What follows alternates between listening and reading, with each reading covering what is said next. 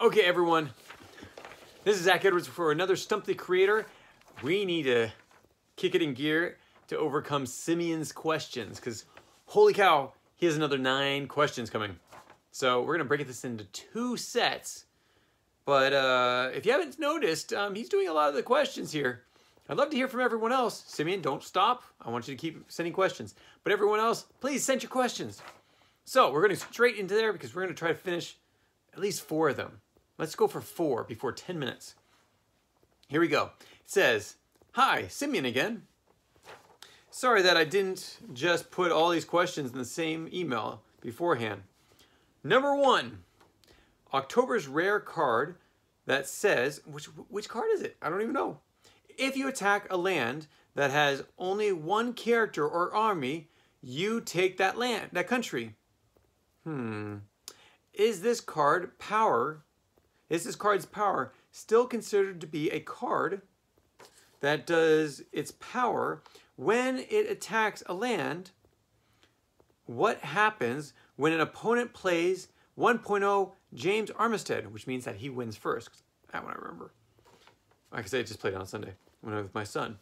Or had earlier played Little Willie in that land being attacked. Little Willie's also a take back card. What's October's card? I don't remember. Do I leave this? Yeah, I'm gonna leave this video. Sorry, I gotta find out. Wait a second.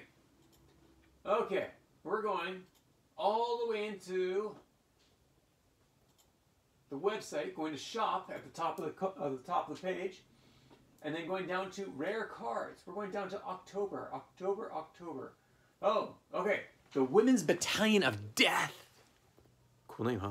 That's an actual name. That's a histor- historically accurate name.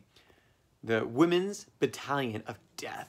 Okay, the abilities say if you attack a land that only has one car character or army, you take that car the country. After two rounds, they are discarded. Which means the Women's Battalion of Death is discarded. Wow, okay. So let's see. You played that card, which you didn't get the name, but then you played James Armistead. 1.0. Now, okay, I know 2.0. Let's see what 1.0 says.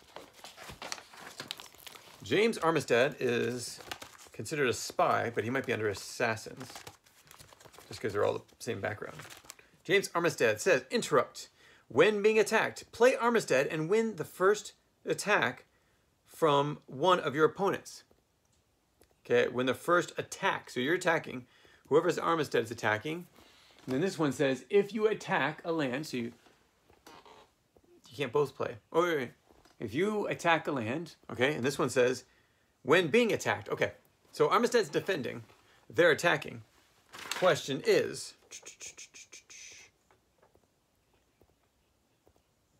uh, is this card card's power still considered to be a card that does its power when it attacks a land?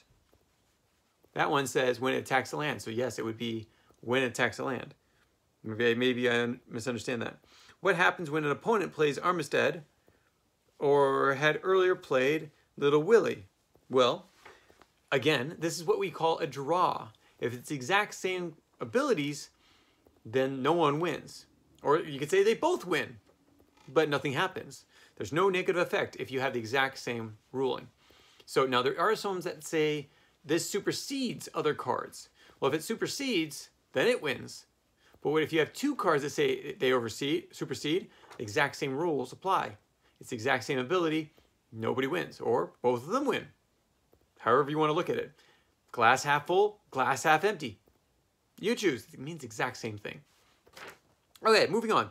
Uh, number two. Do the Chinese warriors work when your uh, opponent attacks me? Wait, wait, wait, wait.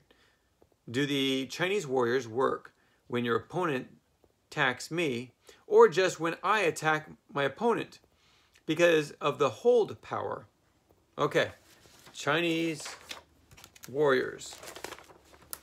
Going to see the Chinese warriors.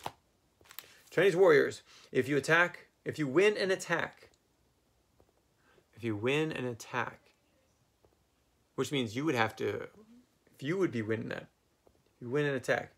Doesn't say if you were winning in defense.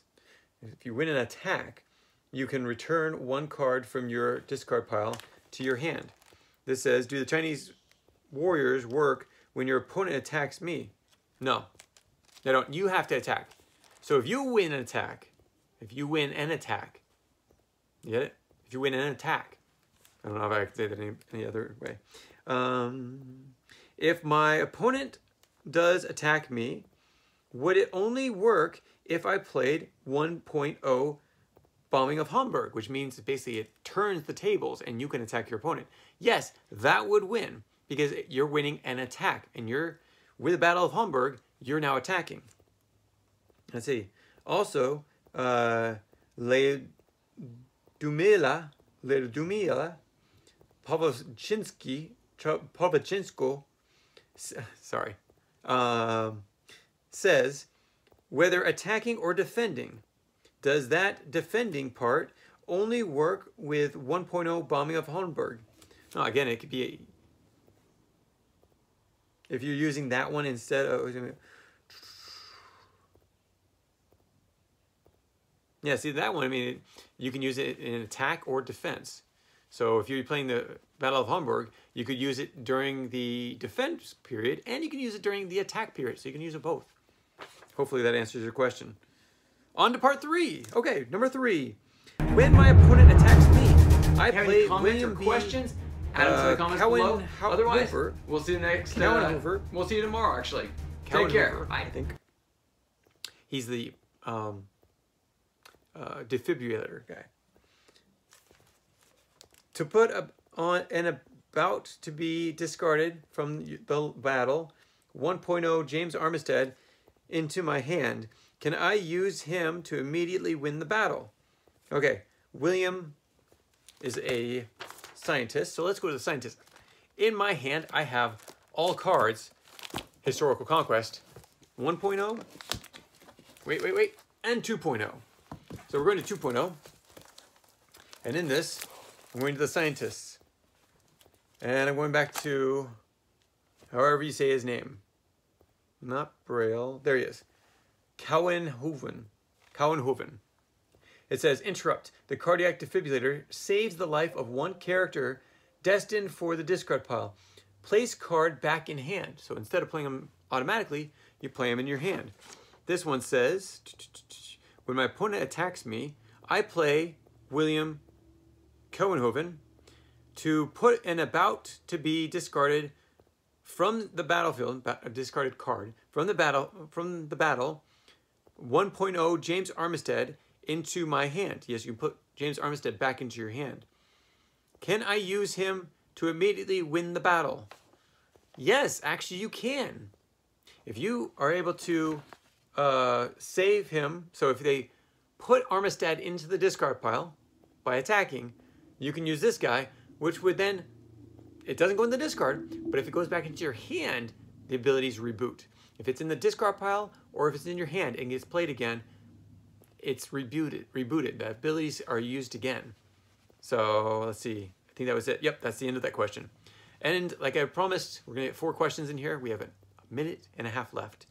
So it says, you said in an earlier video, Tokyo Rose stops the future morale from Cold War space race and Caesar Augustus Germanicus. What about Dillinger? He says, he said, oh, sorry. What about Dillinger? He says, your opponent loses 100 morale after uh, each battle, regardless of outcome. Would Tokyo Rose stop all the morale he'd make you lose, or just the morale you're losing presently? Uh, what about when he uses his abilities during your six day war? Because Tokyo Rose does say all loss of morale, but each attack is made separately. Okay, so let's go back through this. Okay. Uh, okay, let's look at Dillinger. So he is an outlaw. So let's go back to outlaws.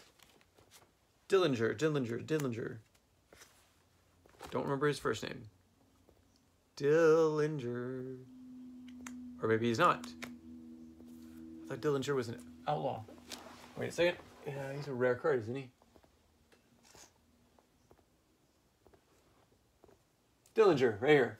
It says, Decrease opponent's morale by 100 after each battle, regardless of outcome. When John attacks the land with a law enforcement, a law enforcer increases strength by 200. Okay, so decrease opponent's morale by 100 points. Except that now they're asking about what if you used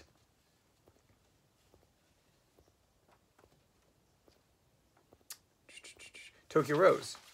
So Tokyo Rose, activist. Let's go to the activists. Go to Tokyo. Tokyo Rose. Okay, interrupt. Tokyo Rose cancels out any loss of morale caused by any one specific card. So, you lose 100 morale. She stops at one card from ever decreasing morale. And it says cancels out any loss of morale. So every time you would have lost. So she can actually, her abilities can be used on Dillinger. So he can keep attacking, but you won't lose the morale each turn. I like that. Okay. So why do you want to play Dillinger? Well, I mean, he is strong. Oh, okay. So this is an opponent's card anyways. It decreases the morale of your opponent, Dillinger right here, decreases the morale of your opponent every time you attack. So yes, they can play Tokyo Rose to stop his morale, him from taking the morale.